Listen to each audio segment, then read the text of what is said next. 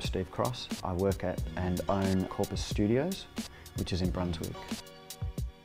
I've been in the industry for about 16 years now. My style's pretty diverse, more of an illustrative type of style. I um, usually work in black and grey, which I sort of enjoy getting tattooed with myself. I started tattooing in Western Australia, in Perth. I did an old-fashioned apprenticeship there, so cleaning the toilets uh, most days, even when it was clean.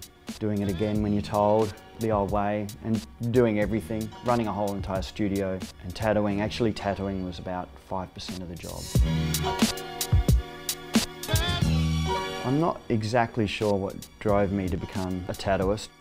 I do remember when I was about 14, I was doing murals in, in, Perth and I was doing a lot of graffiti at the time. A young kid came up who was in the crew and his name's Rampage. He had gotten Rampage tattooed in a wild style across his stomach and I remember looking at that and just absolutely freaked out. It, had that, that, that impact of of graffiti had the impact of how dedicated this little kid was and for me that was really intense and it, it, sort of had the same energy as graffiti and painting large scale murals so that's where the seed was laid.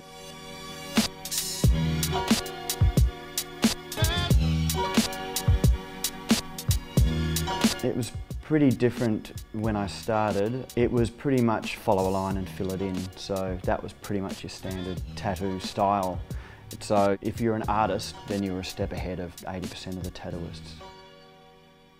It's changed quite considerably. You're sort of usually terrified of the people you worked with or even your customers at times. It was a bit of a rougher crowd.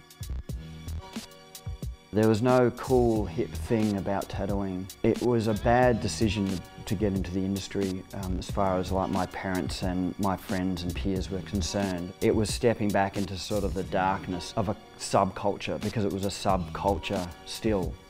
And at that time, there was a bit of rivalry between a few bike clubs, and so most of the bike clubs owned the studios. So I kind of fell into this bad situation basically. But I kind of enjoyed it because it was a raw industry that I was going into. There was nothing fancy about it at all. I don't know, there was just something there that tattooists, some tattooists have. They just have this thing that sort of hungry for something and you don't know what it is. I guess you spend your life searching for a niche and then all of a sudden there's a slot for you within an industry and you just sort of start getting a taste for it and then you try and become a professional. There was really nothing really attractive about it other than scarring people's skin.